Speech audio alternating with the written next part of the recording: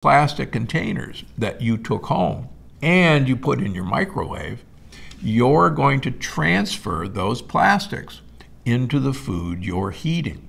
So even if you take it home in one of those containers, transfer it to a real plate, not a plastic plate, to cook your food in your microwave. It'll save you the exposure. Perfluorinated compounds are in stain resistant clothing, they're in food contact wrappers, they're in carpets, they're in paints, they're in most of our cookware, and they act as PFAS. You're transferring these plastic materials, these endocrine disruptors, to your food and into you.